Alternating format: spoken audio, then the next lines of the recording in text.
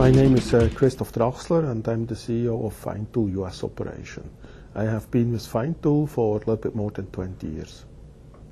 Uh, we are the world market leader in fine blanking actually and we have two products division. One is fine blanked parts and the other is fine blanked presses and we are kind of the company who does things you know other companies in that market can't do. So we are well known for our technical expertise r&d prototype developments basically helping the customers to work on products on their products on their needs to develop that we serve the automotive industry. It's uh, very important that you every day deliver the parts the customers ordered. There is uh, we can't happen you know no can't happen that we can't deliver a customer and he has a shutdown in an assembly line, and therefore the equipment we order needs to be very reliable. And we did hear a lot of good things about Makino. We as well had some machines. We have seen that, that the machines are very reliable.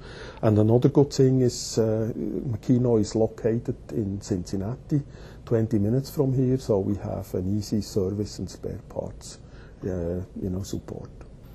Uh, basically, we did uh, kind of an investigation and compared several machine builders and uh, as well talked to other companies who were using these kind of machines, and we got uh, you know a very good good uh, feedback concerning Makino as well on uh, service and spare parts, and that finally made our decision to go into that direction.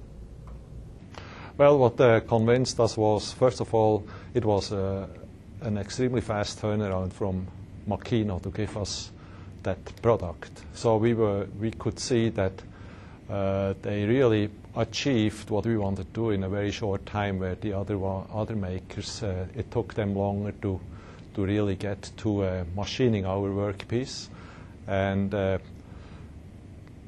the, the cycle time appeared to be also faster than the other ones. We also uh, we pride ourselves that we that our uptime on those machines we bring it up to 6,000 hours just machining time. And this is, as you have seen, uh, we are not at all a production in, a production environment. Pretty much every workpiece is something different, needs to be set up again, and we get it up to to uh, 6,000 hours in a year of just cutting time. We, as we are uh, producing on 26 presses here in Cincinnati, uh, we have to return tools production ready usually in about a one week cycle and we are achieving that for uh, where before of course our production volume was not as high uh, but we probably had in relation we had more tool makers which were working on tools to get them ready it took longer to get them ready and also we have longer cycle times on our tools that the regrind life became better Makino always has been a, a great uh, uh, supplier for us in uh, times of downtimes or issues, technical issues and support. So we are always what, what also helped for us uh, to get a Makino was that uh, Makino is located in Mason, so very close by. So uh, it uh, also made a lot of sense that we would have somebody instead of for example, a European manufacturer where usually it's uh, a, a, little bit a bigger problem to get the closest attention what we really need as a customer.